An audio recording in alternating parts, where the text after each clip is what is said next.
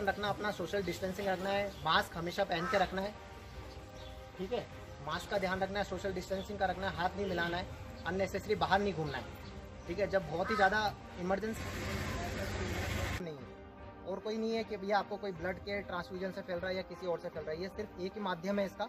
आजकल हमारे सारे मुल्क में, दुनिया में जो ये कोरोना वायरस फैला हुआ है, इस सिलसिले में जो यहाँ के आर्मी अफसर आए थे और इन्होंने जो यहाँ अवेयरनेस कैंप चलाया है, हम इनके बहुत ही शुक्रगुजार हैं और चूँकि हम देहाती इलाकों से रूरल एरिया से ताल्लुक़ रखते हैं वक्त वक्ता फ़वक्ता महकमा हेल्थ यहाँ आर्मी अफसर ये जो हमारा कंसर्न मेजर साहब है जो यहाँ आए हैं, उन्होंने इनकी सिलसिले में यहाँ एक डॉक्टर साहब का भी हम काफ़ी शुक्रगुजार हैं और वक्ता फ़वक्ता हमें इसमें मस्जिद भी इंशाल्लाह अवेयरनेस दे देंगे ताकि हम इस बीमारी से बच जाएँ।